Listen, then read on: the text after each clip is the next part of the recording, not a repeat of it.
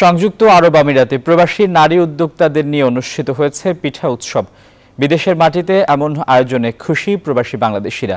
সেই সাথে শীতের আমেজে বাংলাদেশি নকশি ও বাহারি পিঠা নজর কেড়েছে সবার।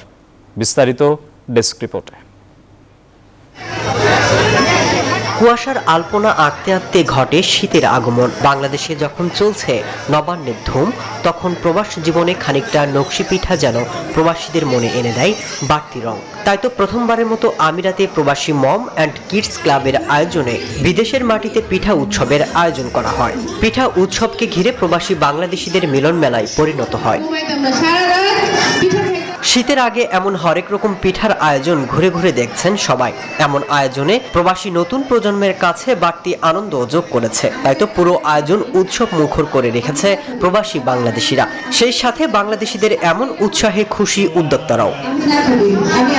বাংলাদেশি নকশি ও বাহারি পিঠা যেন ছিল সবার আকর্ষণের কেন্দ্রে। পিঠা উৎসবে অংশগ্রহণে ছিল দেশীয় পিঠা, হরেক রকমের খাবার, সাথে শাড়ি, চুড়ি থ্রি পিস বাদ পড়েনি ঘর সাজানোর সামগ্রী কিংবা বিউটি পার্লারের stall.